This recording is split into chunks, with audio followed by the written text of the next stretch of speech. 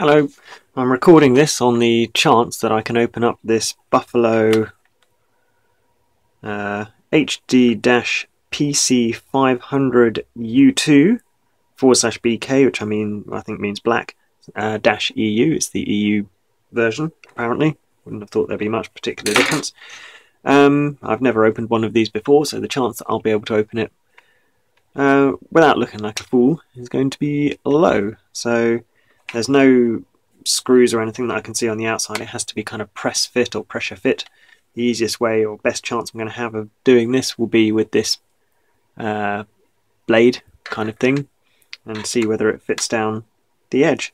So I'm going to put the blade down initially where this USB connector is but at the shorter edge and it seems that you can pull that away there and then I'm going to move further down away from the USB connector and that's quite well kind of opened up there.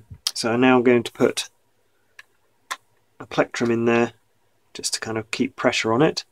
And then I'm going to move down the side which is next to the USB connector, the longer edge, immediately after putting the blade down there, that kind of clicked up anyway.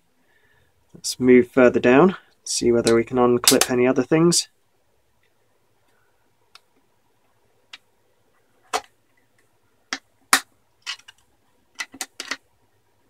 Right, that looks pretty much like it's that entire side undone now. Yep, so I'm going to use my finger and keep tension on that. And I'm going to move down the other side if I can get the blade down there.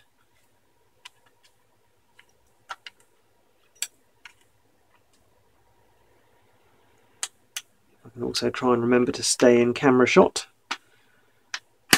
Aha, right, so yes, blade down that side. Seems to be opening it. So hopefully just one more clip. There we go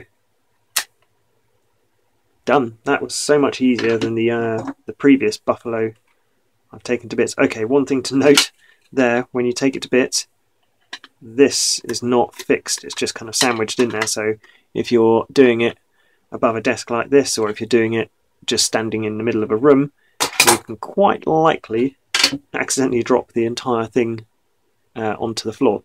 So there we go, we have a hard disk and control circuitry. And in your case, I probably expect that the drive's gone wrong and you want to swap the drive out. So just undo the four screws, or maybe even just two screws, we'll find out. Let's do one either side. So in my case, I'm not sure, but I think the control circuitry may have gone wrong or the USB port has been broken. When I swap the disk, I'll find out whether it works or not. There we go. That's protective cover. And can we remove anything? No so we do need to remove the uh, four screws so undo this one.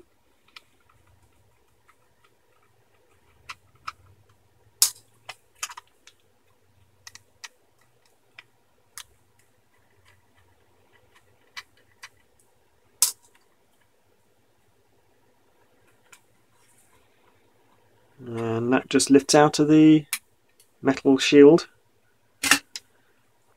And very dinky control circuitry. So just lever that out. There you go. So I'll plug another drive into that later and find out whether it works. Um, there you go. The one that the drive that was in it is a Western Digital WD5000BEVT, which I think are fairly common drives from quite a while ago. They're in a lot of um, possibly HP laptops or maybe Toshiba.